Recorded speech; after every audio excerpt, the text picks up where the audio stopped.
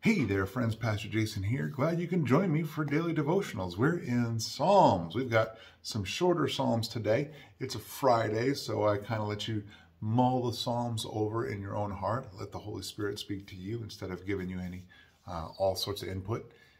So let's get started. We're in Psalm 129. Here we go. It's a Psalm of Ascent. Remember, that's what they would sing traditionally, what they would sing heading up to Jerusalem to do uh, their uh, festivals and so forth when they would come into town. Psalm 129, verse 1 Since my youth they have often attacked me. Let Israel say, Since my youth they have often attacked me, but they have not prevailed against me. Plowmen plowed over my back. They made their furrows long. The Lord is righteous. He has cut the ropes of the wicked. Let all who hate Zion be driven back in disgrace. Let them be like grass on the rooftops, which withers before it grows up and can't even fill the hands of the reaper or the arms of the one who binds sheaves. Then no one who, pa- who pass by will say, May the Lord's blessing be on you. We bless you in the name of Yahweh. Verse uh, chapter 130. Another psalm of ascent.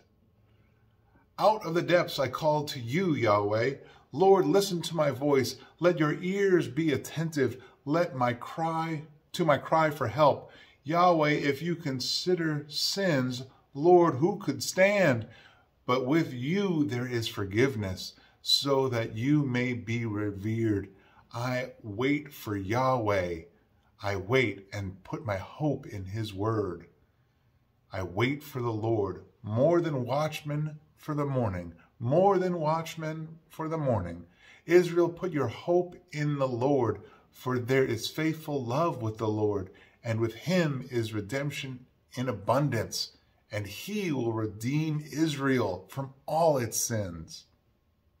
I like that one. It's a good one too.